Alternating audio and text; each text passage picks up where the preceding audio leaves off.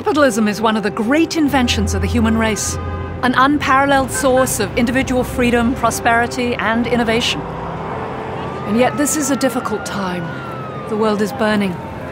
We continue to use fossil fuels as if there's no tomorrow. In many places, social mobility has declined dramatically.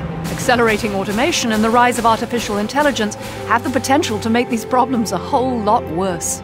I'm Rebecca Henderson, and I've spent the last 10 years of my career studying the ways that business can drive change towards a more equitable, responsible, and just society. We went from very, very few people cared about this to the whole market is discussing this.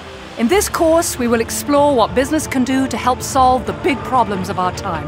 Most importantly, we're going to be talking about what you can do why you don't have to leave your values at the door when you come to work. It is very clear to me and has always been that a business simply cannot be a bystander. It's that focus that matters.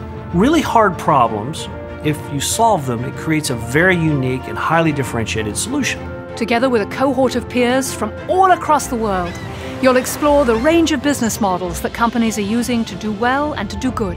Once we have been able to, to instill this purpose in our organization, we see productivity gains, we see that we have access to a completely different talent pool.